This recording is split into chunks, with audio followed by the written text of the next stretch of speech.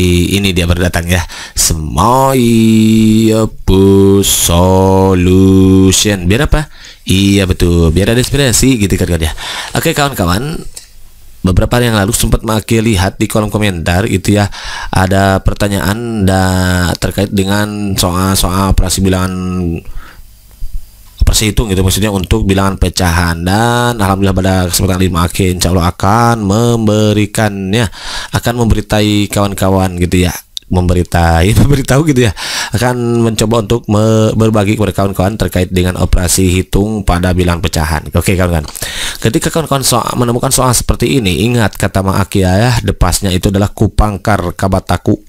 Kupangkar kupangkar kabataku. Aku kurung. Artinya si kurung ini menempati posisi yang paling tinggi. Artinya kalau kawan-kawan bertemu dengan kurung maka kurung dikerjakan terlebih dahulu. Baru pangkat akar gitu ya.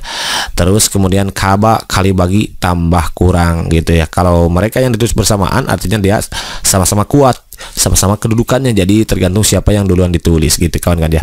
Nah ini dia walaupun di sini kebetulan semua adalah operasi kali dan kemudian kali ini juga di dalam kurung ada kurungnya kurung. Berarti yang pertama kita kerjakan adalah mereka yang dalam kurung gitu kawan-kawan ya. Yang itu kan 0,5 dikali 5 pakat 2 biar mudah. Ah nih kawan-kawan ya. Si 0,5 nya kita rubah ke pecahan. 0,5 itu kan 5 per 10 dari mana? Karena 5 bagi 10 itu nolnya ada berapa di yang bawah? Cara cepatnya di depasnya nih. Iya betul. Satu. Maka dia bilangannya adalah satu angka belakang koma jadi kebetulan angkanya kan cuma satu di atas 5 ya. Jadi koma ah kasih 0 karena gak ada lagi. Nah beda kalau misalkan 15 per 10 berarti nolnya di berapa tuh? Satu ah berarti nanti satu angka belakang koma. Ah, satu ah 1,5 atau misalkan 5 115 per 10 nah nolnya berapa? Satu berarti satu angka belakang koma. Berarti 115 tulis satu angka belakang koma ah gitu kan kan ya. Maka yang ini pun sama gitu kan kan. 0,5 berarti 5 per 10 kali 25 aja gitu ya. Kenapa? Karena 5 pangkat 2 ada 25 kenapa dibuat seperti ini? Biar nanti kawan-kawan bisa coret tuh. Kan 25 sama 10 kan kelipatan 5 tuh. Langsung aja sama kawan-kawan coret. Cut cerot gitu kan ya.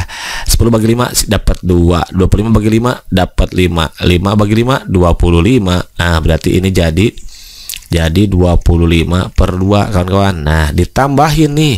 Yang ini ini kan bisa dicucet juga tuh kan kali. Cut cerot sisa 2 kan. 25 persen itu kan 25 per 100 ya berarti itu sama aja dengan 1 per 2 karena yang ini sudah habis dicucrot dikali 25 per 100 nah gitu. 25 per 100 berarti 1 kali 25 iya betul 25 berarti ditambahin tuh 25 per 200 gitu kawan-kawan ya. Per 200 bener nggak? Bener gitu ya. Oke okay, kalau begitu berarti lanjutin nih. 25 bagi 2 iya betul. 25 bagi 2 itu kan berapa? 12,5 gitu kan ya. Tambahin 25 bagi 100 kan ini 200 kan kelipatan 25 ini coret-coret jadi 1 per 8 1 dibagi 8 itu kan 0, Iya betul. 125 ah, 1 bagi 8 kan nggak bisa. Kasih 0 koma gitu kan ya.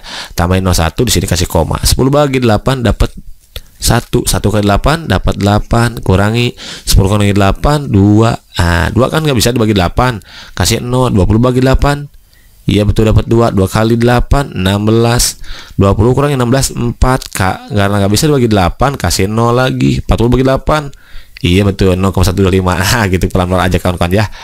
Jadi ditambahin 0,125 hmm, cara menjumlahkan gimana kawan-kawan letakkan. Koma di bawah koma lagi. Jadi ini kan 0,125 komanya di sini gitu sejajar dengan koma. Jadi kawan-kawan harus meletakkan di letakkan di sini nih. Letakkan letakkan. Letakkan sama kawan-kawan ya. 0,125 oke okay, langsung tambahin 5 gak ada temennya ini 2 gak ada temennya 5 tambah 1 6 12 tambah 0 adalah 2 12 Oh berarti jawaban yang paling tepat untuk soal nomor 1 ini adalah 12,625 Awas Setelah koma nggak mengenal nilai tempat Jadi jangan dibaca 12,625 Itu kurang tepat ya kawan-kawan Karena setelah koma nggak ada nilai tempat Berarti dibacanya 12,625 Bukan 625 Berarti kalau begitu jawaban yang paling tepat adalah yang A begitu kan kawan Ansen inap inap. Jadi saja mantap. Kalau mantap next. Soal nomor two nah, pertama ya udah kita hadapi dulu mereka bisa menjadi semoipus solution. Biar apa? Iya betul. Biar inspirasi gitu kan ya. Lagi. Nah, nilai dari 33 1 per 3 persen kali 0,15 adalah bla bla bla. Oh, pertama ternyata cara menjelaskan ini kita cek dulu di option. Option maunya seperti apa? Apakah dia dalam desimal, apakah dia dalam pecahan biasa, apakah dia dalam pecahan campuran atau dalam persen. Ternyata setelah kita lihat, nah itu ya. Semua mereka dalam persen, maka yang ini semua harus kita rubah ke dalam persen gitu kan kawan. Berarti 33 1 per 3 persen itu 3 kita kalikan sini 33 kali 3 Iya betul 99 ya Nah, karena 3 kali 3 9 kali 9. Nah, 3 k 33 kali 3 99 tambah 1 akai berarti 100 per 3 persen.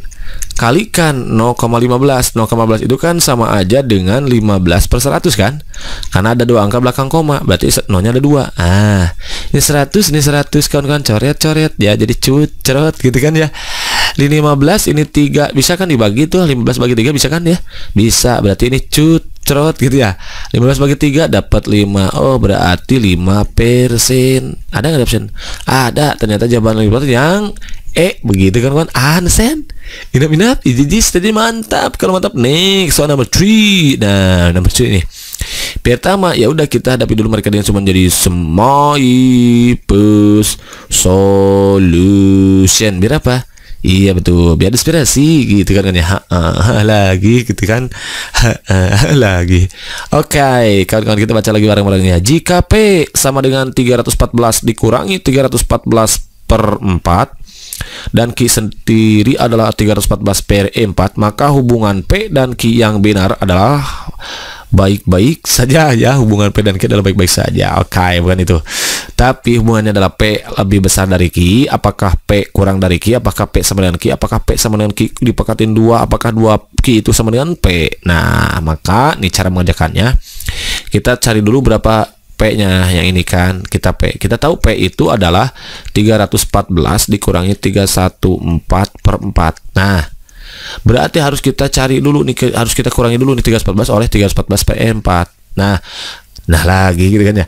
Mengingat sikinya kebetulan sama 314 per 4, maka yang ini ya udah nggak usah kita kurangi kayak gini. Lumayan capek tuh, pusing gitunya kan. Nah, caranya gimana? Caranya begini, 314. Ini kan cara cepatnya begini nih. Ingat, awas, awas cara cepatnya.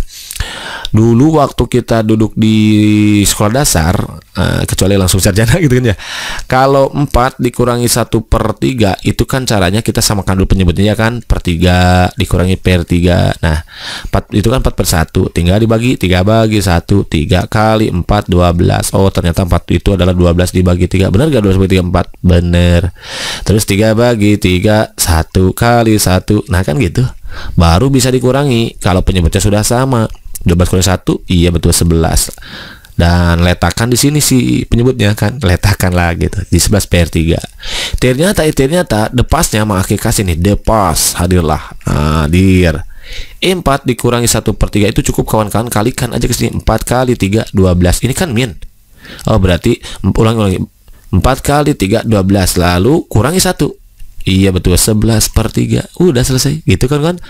Bagaimana dengan plus? Sama aja. 4 tambah 1 per 3 Berarti 4 kalikan dengan 3 4 kalikan dengan 3 12 Ini karena plus berarti tambah 1 13 berarti 13 per 3 Maka ini pun sama gitu kan kawan. 3 kalikan sini 314 kali 4 Berapa? Iya betul. Pusing ya. Ya udah. 4 kali 314 kan gitu ya? Kurangi berapa? 314 Nah ini per 4 berarti kan ini per 4 Nah gitu kan ya? Atau mau disatuin boleh ke sini. Nah gitu. Sementara itu P itu milik P. Sementara Q sendiri adalah 314 per 4 nah lihat kawan-kawan kalau misalkan pusing kayak gini kayak gini ya anggap aja si 314 nya sama kawan-kawan sebagai A. Nah ini A berarti ya udah berarti kalau begitu P nya itu adalah P4A dikurangi A alias P nya berapa iya betul 3A nah ini karena sama juga 314 per 4 itu adalah A ya udah berarti Q sama dengan A. Nah, kalau P itu 3A lalu Q sama dengan A berarti kalau begitu hubungan P dan Q gimana? Iya betul baik-baik saja gitu kan ya? Enggak ya bukan begitu ya. Ternyata si P lebih besar. Oh ya udah berarti kalau begitu jawaban yang tepat itu yang A karena si P nya lebih besar dari Q P 3A sementara Q nya adalah hanya A Udah deh ketahuan jawabannya. Begitu kan Wan? Ansen. Ina mina, jadi tadi mantap. Kalau mantap next soal number 4. Number 4 pertama ya udah kita dapat dulu perkiraan menjadi semoipus solution. Biar apa? Iya betul, biar inspirasi gitu ya. lagi gitu kan ya. Kayak kawan-kawan soalnya kayak begini, kayak gini lagi. Hasil dari 16 2 per 3 persen dikali 10,5 persen.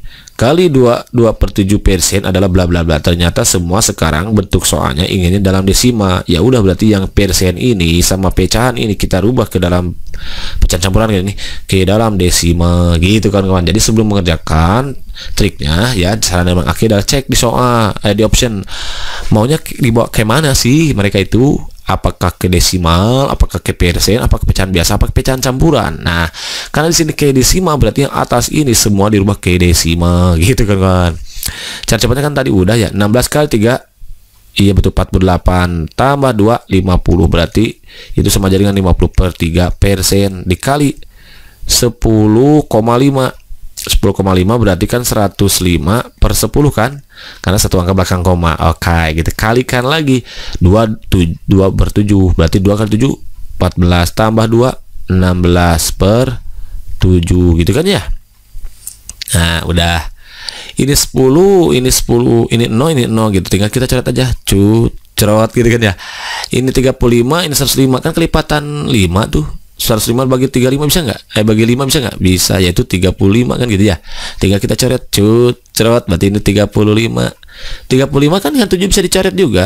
Cut cerot sisa 5. Oh berarti ini tinggal 5 persen kali 5 kali 16. 5 kali 16 sendiri itu kan 80. 5 persen berarti 5 persen itu adalah sama dengan 5 per 100 kalikan di 80 ini eno ini eno cut cerot gitu ya. 5 bagi 10 kan bisa 5 bagi 5 1 10 bagi 5 2 berarti setengah dari 4 nah, berarti ini sama aja dengan setengah dari 4 setengah dari 8 berapa? Iya betul. Ternyata jawaban yang betul. Yang A ya 4 itu kan kalau nggak ditulis dia asalnya 4,00 gitu ya. Oh berarti kalau begitu jawaban yang betul adalah yang A. Begitu kan kawan? Ansen? Inap inap iji iji mantap